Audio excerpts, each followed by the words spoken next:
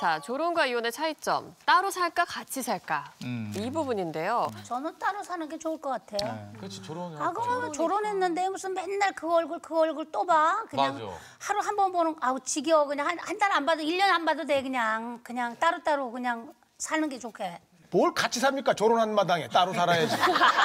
왜냐면 같이 얼굴 보면 그래. 왜냐면 늦게 들어오면 또 짜증도 낼 수 있고 화도 낼 수 있고. 그게. 근데 이게 아니, 따로 사는 거는 경제적인 문제도 있을 거라고. 아, 그런가? 그래서 아, 그런 거 집도 두 있겠죠. 개가 되어. 그렇죠. 남자가 그게 또 돈을 못 벌게 된다든가 여자가 또 한쪽이 못 벌게 아? 된다든가. 자 우리 황성희 변호사님 이거 어떻게 됩니까?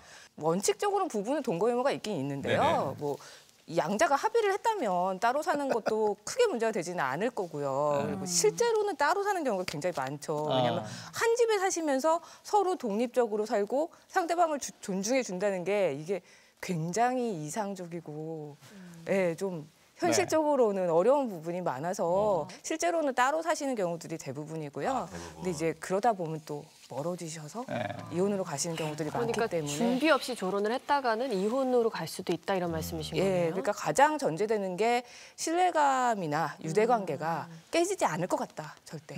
아니 일단 그것도 있는 것 같아요. 눈에서 멀어지면 마음에서 멀어지고 마음에서 멀어지면 뭐 갈라설 수도 있는 거잖아요. 근데 심리학적으로 보면은 눈에서 멀어지면 마음에서 당연히 멀어지죠. 네. 그래서 눈에서 멀어진 상대와 지속적인 관계를 유지하려면 또 각자의 노력이 필요한 거죠. 네. 네, 근데 어떤 경우에는 또 늘 붙어 살다가 떨어지니까 애틋해지기도 한다고 하거든요. 그러니까 그럴 때 좀 더 서로 예, 이 정성을 보이고 관심을 보이시는 게 필요하다고 생각합니다. 네. 우리가 왜 이제 좀 젊어서 살아갈 때는 이제 남편이나 아내나 각자 배우자의 사진을 들고 다니잖아요. 남편이 힘들 때 아내 사진을 딱 보면서 아유 내가 이 여자하고도 사는데 이렇게 살고 근데 저쪽에서 지금 그 얘기 나오는데 콧방귀가 하나 나와. 그리고 누군가가 어, 크게 나오는데. 나 전 누군지 알 것 같아요. 지금 얼굴 한 분이 빨개지셨어요. 네. 아 그리고 이제 이제 아내도 이렇게 히- 살다가 힘들면은 남편 사진을 딱 꺼내보고는 아유 내가 이것도 인간 만들었는데 이러면서 이제 산대잖아요. 근데 이건 젊을 때고 젊을 때고 지금 우리가 조론을 하는 이유가 감정이 상해서가 아니에요.